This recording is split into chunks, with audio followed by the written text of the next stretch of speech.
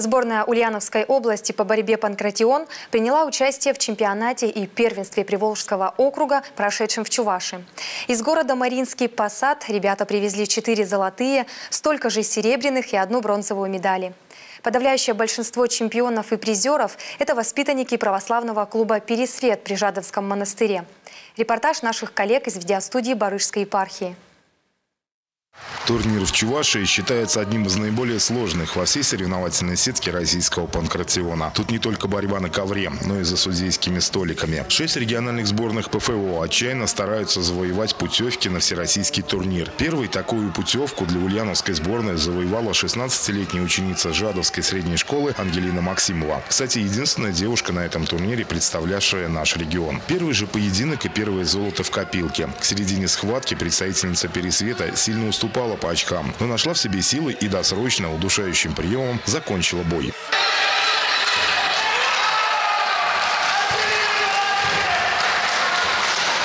Вслед за Ангелиной самый юный участник соревнований пересветовец Алексей Шестопалов выиграл два подряд боя и стал чемпионом ПФО. Причем в финале Леша не испытал никаких трудностей с соперником.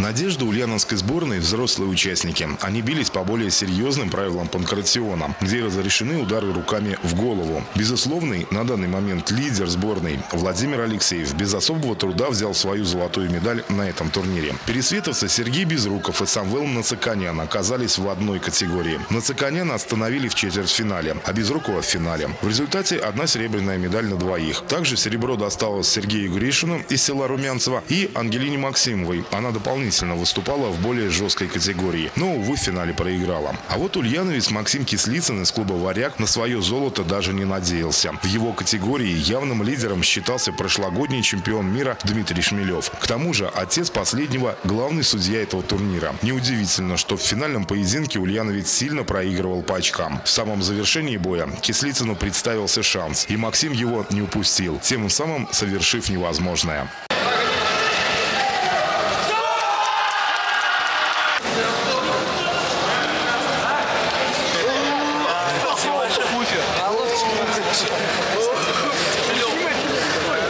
Вместе с еще одной серебряной медалью, которую также завоевал представитель клуба «Варяг» Дмитрий Парфенов, у сборной Ульяновской области 8 путевок на чемпионаты первенства России. Турнир пройдет в середине апреля в городе Иваново. Там же и сформируется сборная России на чемпионат мира. Дмитрий Гурин, видеостудия Барышевской епархии, специально для телеканала «Союз».